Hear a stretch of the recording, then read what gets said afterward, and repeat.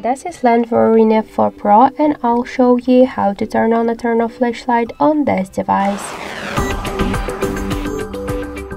First we should find the flashlight uh, application, tap on it to open the app and here click now just to turn on icon to activate flashlight and to turn off icon to turn it off. So thank you for watching and if you like this video leave thumbs up and subscribe our channel.